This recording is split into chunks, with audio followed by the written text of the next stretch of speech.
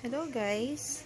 So, first time kong mag-vlog ngayon and tuturuan ko kayo kung paano gumawa ng organic fertilizer.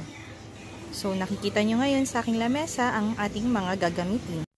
So, kailangan natin ng dinurog na itlog. Ito ay aking hinugasan at pinatuyo sa hangin. Kailangan din natin ng ating string beans o sitaw.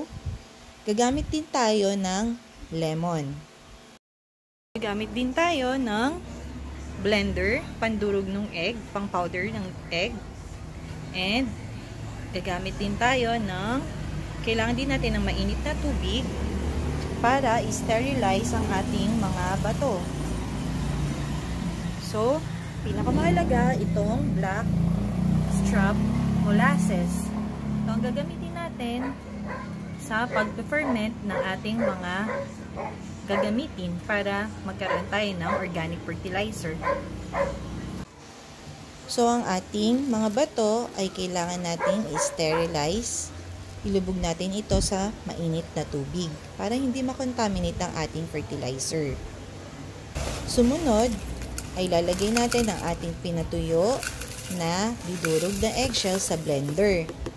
Ang purpose nito, kailangan natin itong pulbusin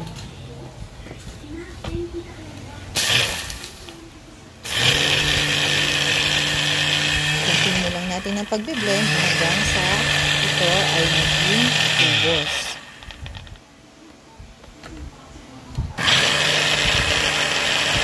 Susunod naman natin na timbangin ng ating mga gagamiting sangkap dahil kung ano ang, sa, ang timbang nito, ganun din ang sukat ng ilalagay nating black molasses.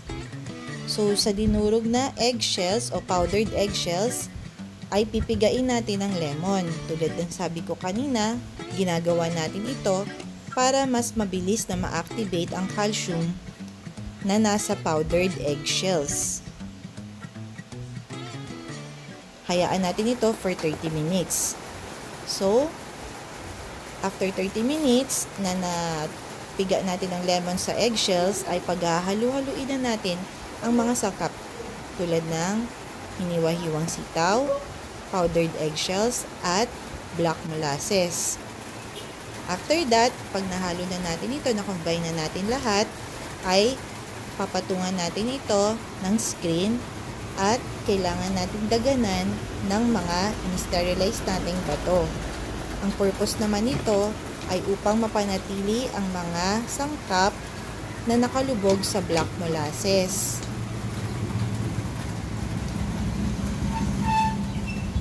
Ngayon, i-cover natin ang ating container at ililive natin ito for 2 weeks. Kailangan natin itong ilagay sa shady part na bahay tulad ng ilalim ng lamesa o ilalim ng ating kama.